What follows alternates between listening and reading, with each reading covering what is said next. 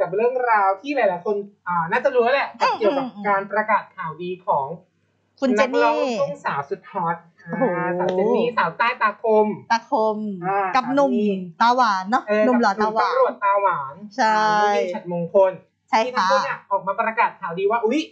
ตั้งท้องแล้วนะผมโชว์เขาเรียกนะ โชว์ที่ตรวจคันเป็นสองใช่เคสองขีด ไม่ใช่โควิดนะคะ แต่ว่าเป็นอะไรเฮ้ยเขาพูดติดโควิดนะไม่ใช่นะเป็นข่าวดีข่าวเป็นดีข่าวดีตั้งค่ะคัตั้นงครรภ์นะก่อนที่จริงๆก่อนหน้านี้เจ้าตัวก็ออกมาออกรายการว่าเอ้ยพร้อมจะมีครอบครัวจ้าเออก็ก็ยินดีด้วยก็มีรอบใช่ค่ะรัวในแล้วที่สุดก็มีครอบครัวเป็นของตัวเองอืมเรียกว่าเขาเรียกอะไรนะมีน้องน้อยในในลูกเอ้ยมีลูกลูกน้อยมีในลูกครัค้านในท้องคือก็เขาเรียกท่ามกลางความยินดีของอืมครอบครัวอ่า เพื่อนฝูงอ่าชาวเน็ตใช่แล้วก็แฟนคลับทั้งหลายใช่ค่ะใช่แล้วก็ หลังจากนั้นพี่ยิ้มหลังจากที่เขาประกาศข่าวดีอืมอืมอืมเนี่ยก็มีภาพอ่านี้หลุดออกมาจ้าเป็นภาพที่พาครอบครัวไปเที่ยวที่ทะเลอ่าฮะอ่านี่ก็เป็นครอบครัวก็จะมีทั้งน้องเจนนี่หนุ่มยิวคุณแม่แล้วก็ น้องลิลน้องลี่แล้วก็อ่า เพื่อนของเขาอีกคนนึงอ่าโอเคจะมีมีไปบรรยากาศอ่าเขาเรียกชินะวชิวชิวชิวๆไปพักผ่อนกันชิวๆกับครอบครัวสบายๆนั่นเองใช่ค่ะซึ่ง เขาก็มาเผยโมเมนต์นี้จริงๆมันเป็นโมเมนต์นะโมเมนต์ยังไงอะอยากลุรู้งเลยยิวอะเขาขอสาวเจนนี่แต่งงานอ๋อตอนหน้าครอบครัวเขาเลยอะนะกลางเฮ้ยเขาเรียกนะบรรยากาศกลางทะเลหวานกลางทะเลอุ๊ซึ่งยสาวเจนนี่น่ะเขาเอาเขาแอบมาแบบเขาเรียกมามาโพสต์ข้อความอ๋อผ่านจ้าเฟซบุ๊กเขาบอกว่า ก็เกิดขึ้นเร็วมากโอ้โหอ่าฮะแบบดีใจแบบว่า มันเป็นมากกว่าคำว่าครอบครัวอบอุ่นจ้าเพราะว่าตอนนี้เขากำลังจะมีอ่าน้องมีลูกตัวน้อยด้วยอ่าเออเขาก็แบบว่าเขาก็จะจะเป็นครอบครัวที่ดีแล้วก็จะตั้งใจเลี้ยงลูกของทาง ของเราของเราให้ดีอ่าใช่ก็จะทำหน้าที่ภรรยาและแม่ของลูกที่ดีจ้าเช่นกันรักนะคะเอ้ยเออหวานก็น่ะมีคลิปอยู่แล้วก็นี่นอกจากนั้นทีมเขามีลงคลิปนะลงคลิปอีกเหรอโมเมนต์เป็นคลิปยังไงก่อนแต่งงานเนี่ยขอแอบดูหน่อยได้ไหมคะได้ได้เดี๋ยวสักครู่หนึ่งทีมได้ค่ะเฮ้อ่ายนี่เป็นบรรยากาศเป็นตอนแต่งงานใช่ไหมคะใช่จริงๆมันมีช็อตอันนั้นด้วยนะพี่อิมช็อตช็อตโยนแหวน เออช็อตที่ทำให้สาวเจนหลายๆคนทำอึ้งเลยนะอึ้งพี่อิมอึ้งลองใช่ดูนี่เฮ้ย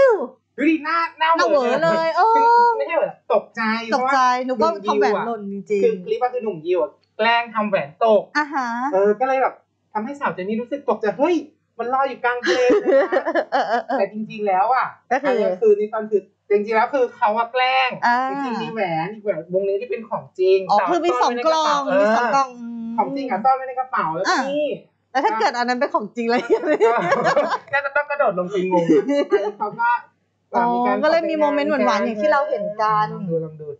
นี่แสดงว่าจริง ๆ ตอนนั้นเหมือนเจนนี่เองก็งงงๆแล้วก็แบบหูอื้อเหมือนกันนะใช่เวลาขอแต่งงาน ก็คงคิดว่าเออเป็นนี่มีจงมีจุ๊บเฮ้ยเขิ นจีโมโนจะโตโตโตโอ้โหเมื่อกี้เพลงในติ๊กต็อกนะพี่ชื่ออ๋อเออใช่โตนี่เอาจริงๆเอาจริงๆโอ้โหเตียงตังตู้มาทั้งหมดเลยนะใช่เอาจริงๆตอนนั้นเข้าใจความรู้สึกของคุณเจนนี่เลยนะเพราะหลายๆคนบอกว่าไม่ดูขอแต่งงานใช่ไหมใช่พิมเคยขอตอนนั้นแบบพอเขาพูดมาปุ๊บพิมอึ้งเลยนะสตันไปเลยจบรายการไปที่ไม่ใช่เขาไม่ได้ขอพิมแต่งงานเขาคิดค่าดอกเบี้ยเงินอ๋กู้ ออ่านี่อะไรยังไงนะละเลขขอโทษก็คือบรรยากาศตรงนั้นหลาย ๆ คนก็คงคิดว่าเอ้ยอ่าฮะคงจะแบบตกใจนะแบบอืมอึ้งนะเพราะเขาไม่คิดว่าหนุ่มยิวเนี่ยจะขอแต่งงานอะไรอย่างอืนี้มเออก็ก็ก็หลาย ๆ คนก็มาแสดงความยินดีกันแล้วก็บอกบอกว่าอุ๊ยดีใจด้วยนะอยากเห็นน้องในท้องแล้วจริง ๆ ด้วย นั่นเองก็คือข่าวดีแหละที่เรียกว่าอืมอืมอืมอีกอีกอันหนึงพี่ยิ้มได้บอกเลยได้ว่าประกาศท้องปุ๊บ ขอแต่งงานปั๊บอืมอีกอันหนึงที่หลายคนสงสัยแล้วก็หูต่างพากันเดากันสนั่นโลกออนไลอะไรน์พี่เอ่ยคือหนุ่มยิวเขามาโพสต์ข้อความปริศนาธรรม อืมปริศนาทำเลยเหรอเออเป็นข้อความปริศนาเป็นวันเดือนปีปริศนาอ่าพิมพ์เขาก็มาโพสต์เนี่ยผ่านอ่า Facebook ส่วนตัวว่า จ้า11 พฤศจิกายน 2564 ไม่เขาอาจจะบุกงานหรือเปล่า จะกลัวจำงานไม่ได้อาจจะเป็นงานบวชไหมเออไม่รู้แต่ว่าเปเขาล่แท็กข่าวเจนนี่ไปนะ เขาแท็กไงบอกว่าไม่อย่าลืมมาถือหมอนเออหมดอะไรไม่รู้แต่ว่าเจนนี่อะก็ออกมาบอกว่าตื่นเต้นมากค่ะ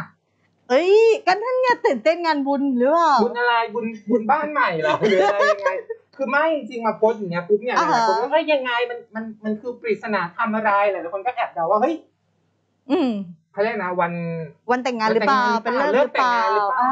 เออแล้วก็เราก็ไปแอบดูคอมเมนต์แต่แบบเราก็ไม่แน่ใจว่าจริงๆเป็นเลิกแต่งงานหรือเปล่าอ่าฮะต้อง ต้องแอบรอให้หนุ่มยิวกับสาวเจนเนี่ยออกมา ออกมา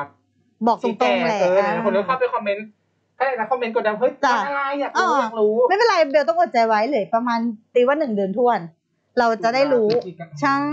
เราก็จะได้รู้แล้วไม่แน่อาจจะเป็นสิ้นเดือนเราอาจจะรู้เลยก็ได้ว่าจริง ๆ แล้ว เลิกนี้อาจจะเป็นเลิกบวชแบบที่พี่คิดเออหรือว่าอาจจะเป็นเลิกแต่งปีใหม่อ่าเฮ้ยเป็นบ้านใหม่หรือเออหรือเปิดบริษัทได้หมดเออใช่ใช่ของเขาจะเนี่ยมีการพักประมาณหกเดือนอ่าอาจจะมี